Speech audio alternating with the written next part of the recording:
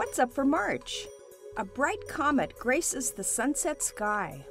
Hello and welcome. I'm Jane Houston Jones at NASA's Jet Propulsion Laboratory in Pasadena, California. The first of this year's two potential bright comets is visible this month for those who can see low on the western horizon.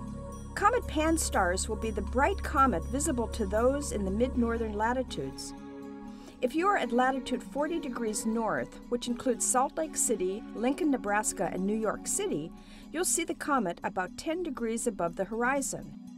If you are observing from farther south, the comet will be a few degrees lower and closer to the horizon.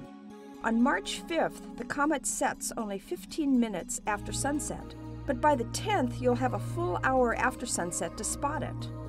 On March 12th, the slender crescent moon will be visible to the right of the comet.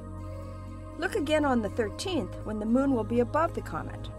In April and May, the comet fades a bit, but it will be visible higher in the sky then.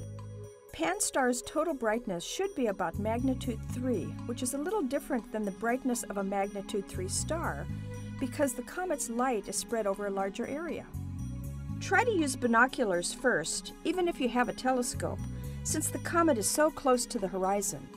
If you do see the comet, keep looking after it sets, and you might see its tail above the horizon. NASA's EPOXI mission captured some images of a different comet, ISON, in late January. This comet may offer spectacular views for viewers on Earth towards the end of the year. And Rosetta, an international mission with U.S. support and NASA instruments, is on a 10 year mission to catch up with Comet 67P Churyumov-Gerasimenko, or CG for short. Rosetta will be the first spacecraft to soft land on a comet and accompany it as it enters the inner solar system. This month, Jupiter is still high in the sky at dusk, and Saturn rises in the late evening. To learn about all of NASA's missions, visit www.nasa.gov. That's all for this month. I'm Jane Houston Jones.